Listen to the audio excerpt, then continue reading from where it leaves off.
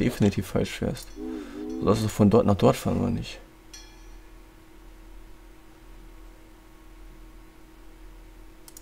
Und dann halt stopp. Nee, sollst du nicht. Fährst du schon richtig.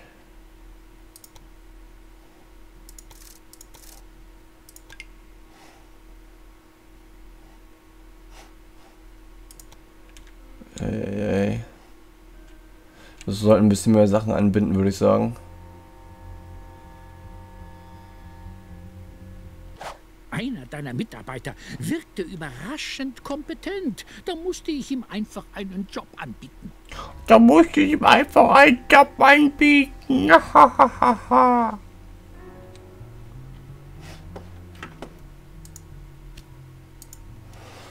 Ey. Ja, schön, dass du wieder hier Schafe zu verkaufen. Wir lesen den Schritt mittlerweile schon gar nicht mehr durch. Ich habe Bock mehr auf den Typen Doc Murphy, ey. Dem muss ich nochmal eine ordentliche Abreibung verpassen. So.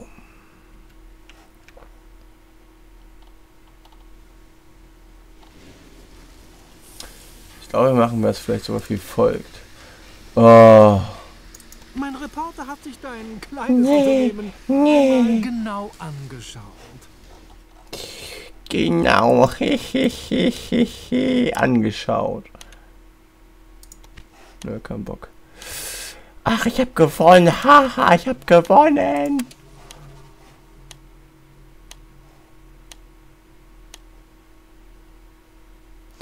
Man kann mit Aktien handeln. Interessant. Ich muss Roger Smithy mal ordentlich ein.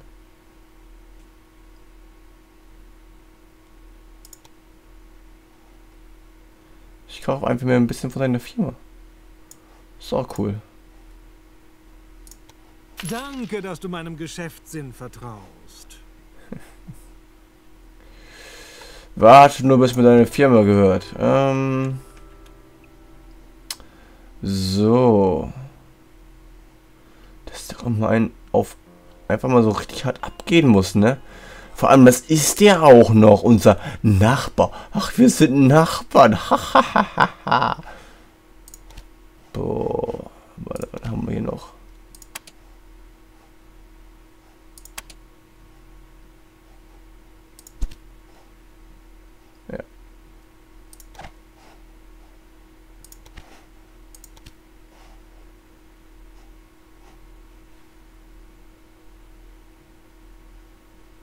Bist du so schlecht, dass du Spione einsetzen musst?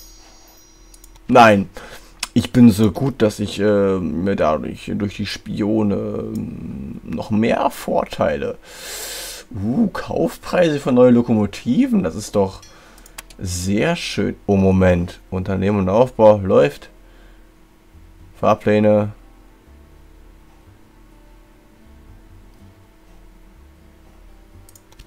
Äh, gut zu wissen. Danke. Das hätte ich vielleicht vorher wissen sollen.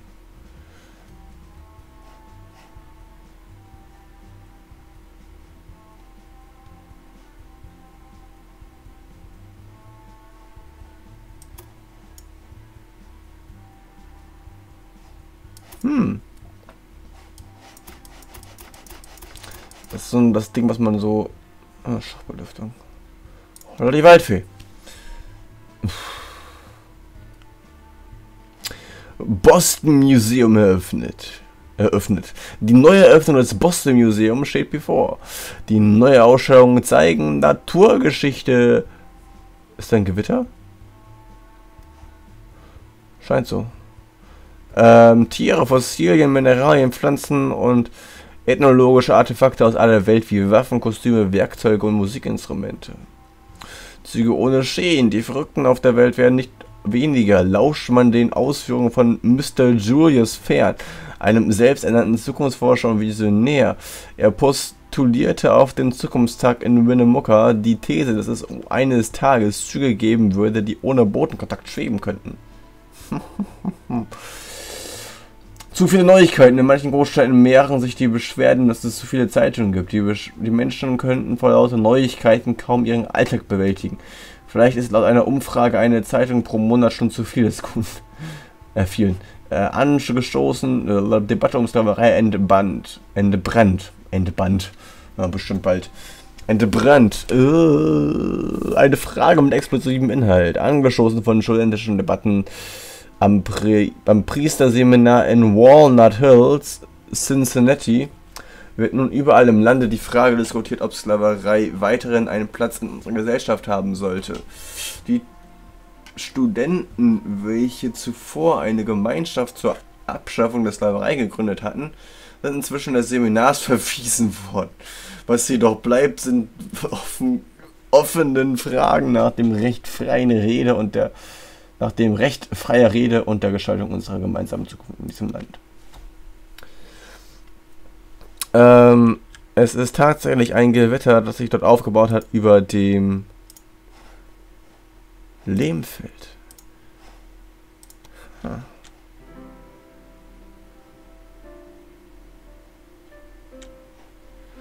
So.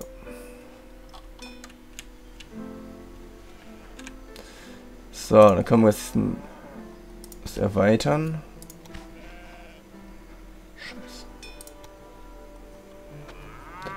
Nein.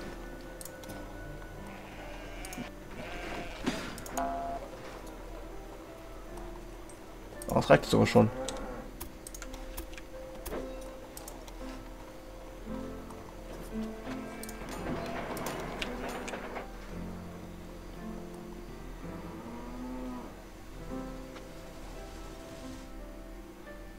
Verdammt.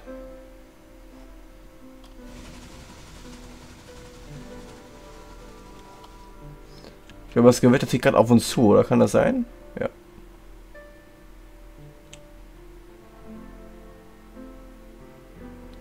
Oder löst es sich noch auf? Wir werden es erfahren. So, wenn dazu keine geeigneten Dings da, dann können wir diese Linie ja auch äh, löschen.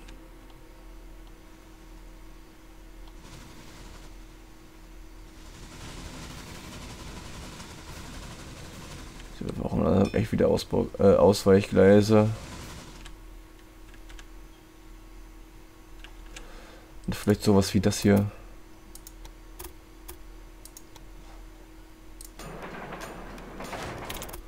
Und andersrum.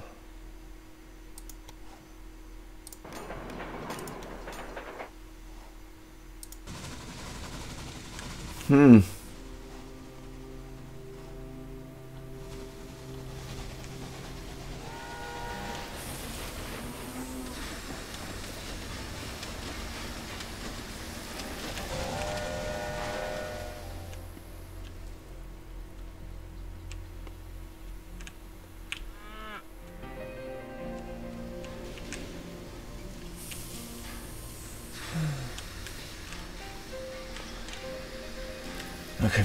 Wir brauchen mehr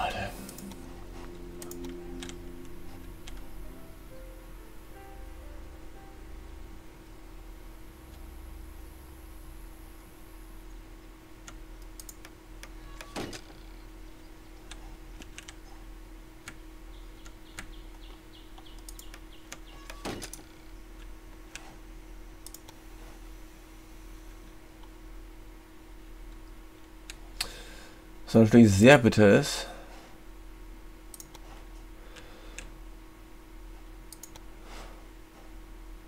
So eigentlich diese. Ich mich, was mit der Auslastung zu tun. Ich meine. Was bringt einem die Auslastung, wenn es sowieso gar keine. wenn eh nichts passiert, insofern, dass es äh, keinen Transport gibt?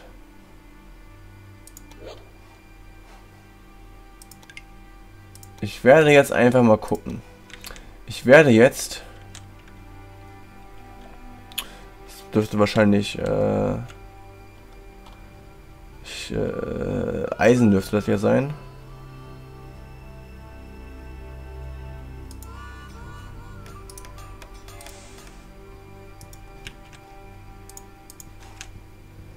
Ähm,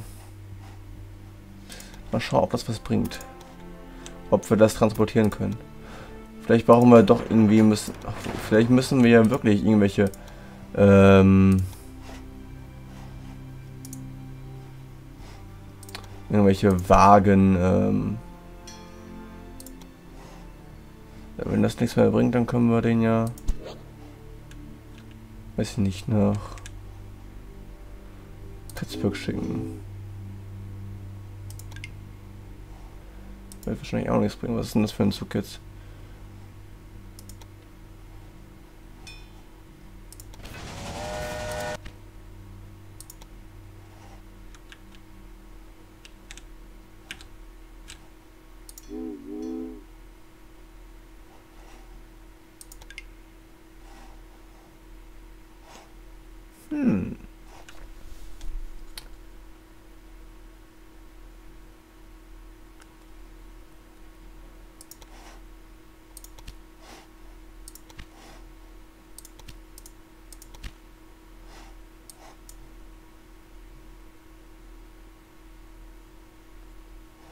Sorgt für längere Haltbarkeit.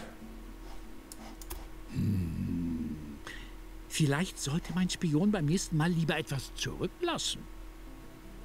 Dreckiger Wichser.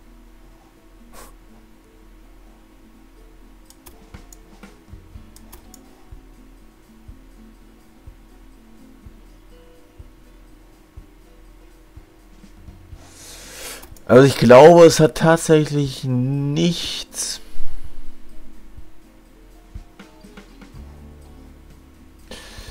mit dem Wagen zu tun.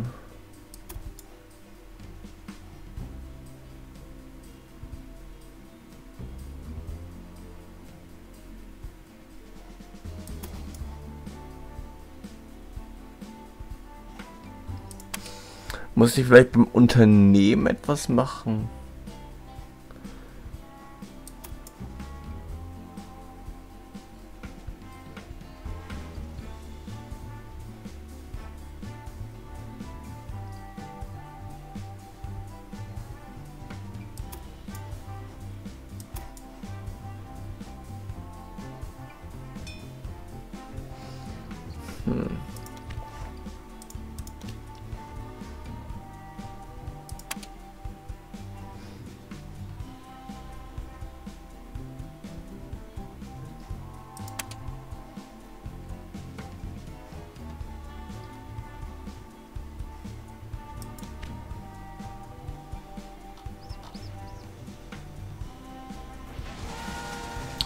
Wie man sieht, dann kann, der kann ja das auch nicht transportieren.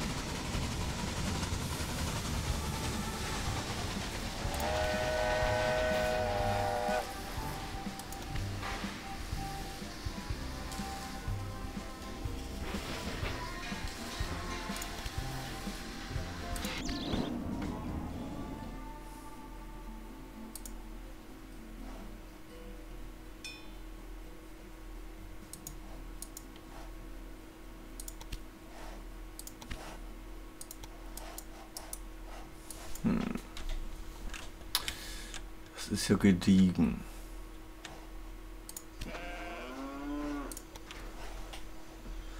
Äh, es könnte auch daran liegen, dass es keine Nachfrage gibt. Das heißt, wir sollten vielleicht erstmal wirklich Holz dahin transportieren und und bei Vieh gibt es ja auch noch ein bisschen Nachfrage, sehe ich gerade. Ups.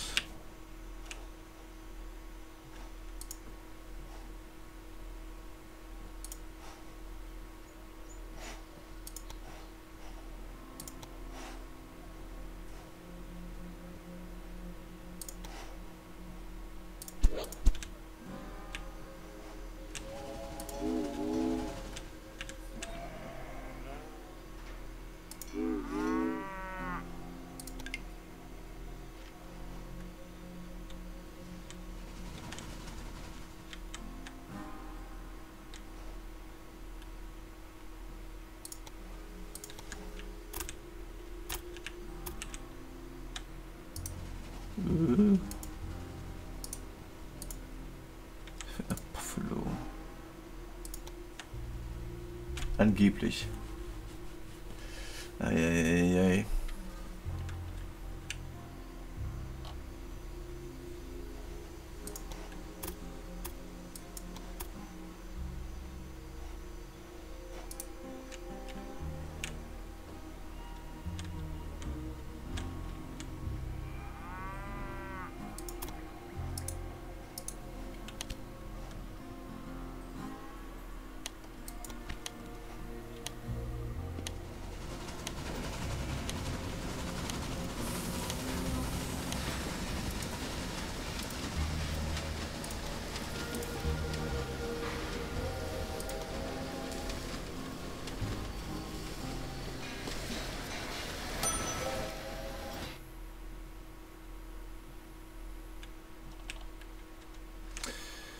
Dafür, dass es ja eigentlich parallel läuft, läuft das ja gar nicht.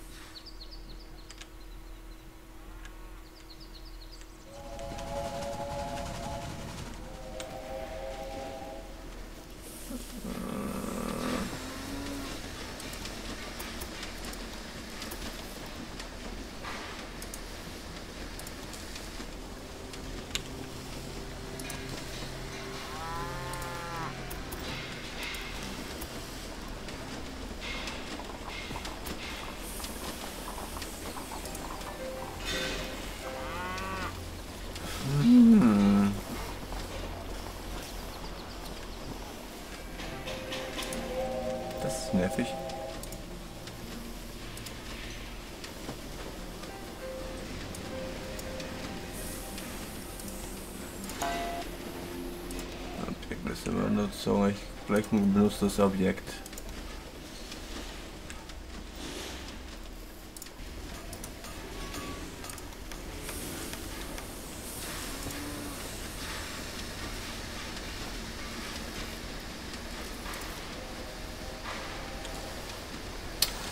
Ja gut. Ähm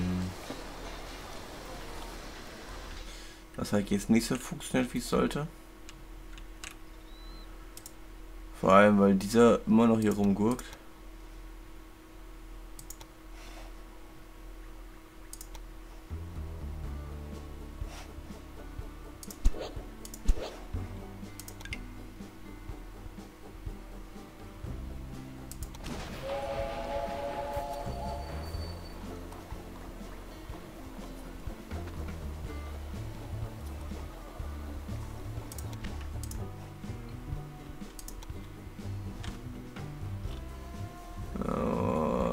Geht mir auf den Sack.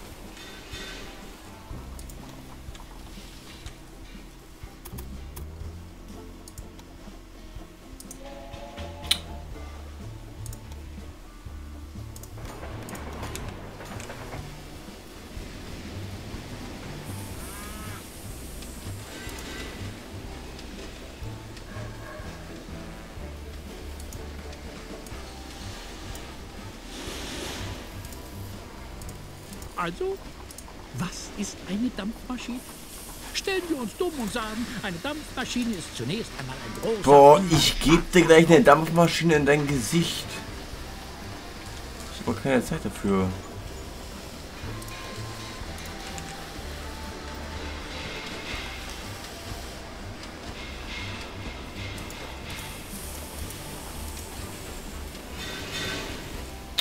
Ungünstig.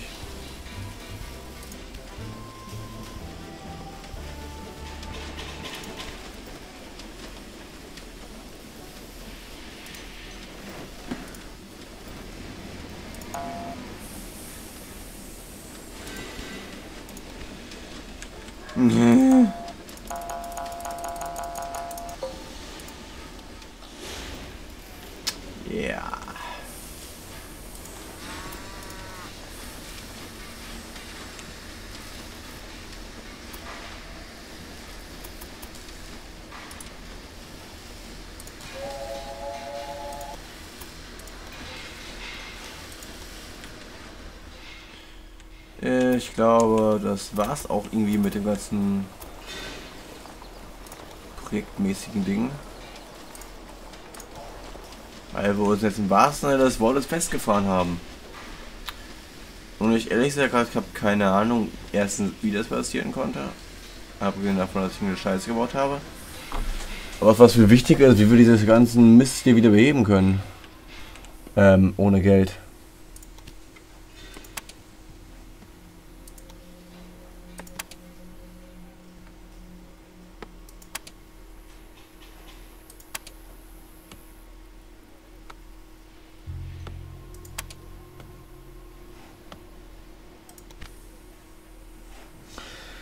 Eieiei.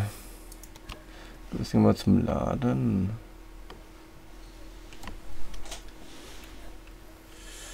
Wahrscheinlich war es irgendwo hier.